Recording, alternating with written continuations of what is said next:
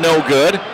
As into the ball game now for the first time, Xavier Ford, interesting story out of the University of Buffalo. Whittington back the other way with a short jumper. For both teams, really two very talented groups. Whittington, nice feed inside to Benson. No, but staying right with it that time is Whittington, the Georgetown product with a nice tap in. Skyforce want to run, get to the Kelly, kick opposite, no one picks up Whittington, wide open for three, got it. Can't leave that guy open, Greg Whittington. Getting whatever shots they want. Yeah, they are.